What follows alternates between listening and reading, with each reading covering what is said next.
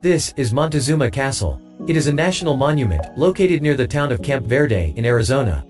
The Sinagua, a pre-Columbian Native American, built this monumental structure between 1100 and 1350 AD. The castle was built into a limestone cliff about 24 meters above the valley floor. With 5 levels and 20 rooms, the castle could have housed 35 to 50 people. It is still a mystery as to why the Sinagua abandoned Montezuma Castle by 1425 AD. Various speculations have been made, such as overpopulation or high levels of arsenic in their water source.